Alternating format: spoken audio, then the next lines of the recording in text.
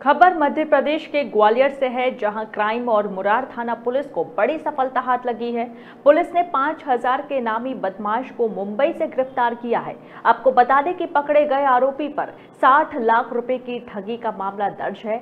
इतना ही नहीं, आरोपी की पत्नी पर भी 5000 रुपए का इनाम घोषित है।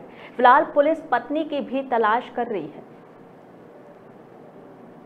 ये 2016 में एक एफ़ रजिस्टर की गई। फरियादी अति सुंदर सिंह, जो कि सीपी कॉलोनी मुरार के रहने वाले हैं, उनके द्वारा ये रिपोर्ट की गई कि उन्हीं के एक परिचित हैं, जिनके द्वारा ये बताया गया कि व्यवसाय में मुझे 50 लाख रुपए की आवश्यकता है और चूँकि मेरे अधिपत्य में जो मकान है आज़ाद नगर में, उसका एक बटे चार भाग में आपको विक्रय करता हूँ। तो इनके द्वारा चार किस्तों को पचास लाख रुपए दे दिए, लेकिन पचास लाख रुपए लेने के बाद वो व्यक्ति भाग गया, उसने कोई भी विक्रय पत्र संपादित नहीं किया। फरियादी अति सुंदर सिंह